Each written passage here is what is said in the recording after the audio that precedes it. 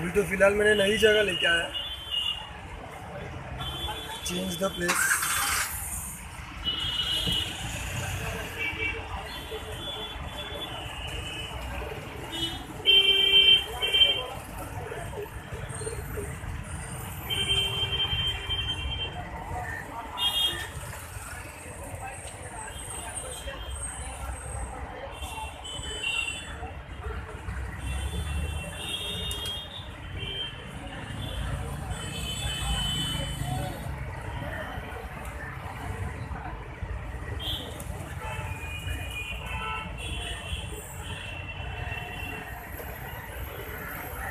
Hee hee!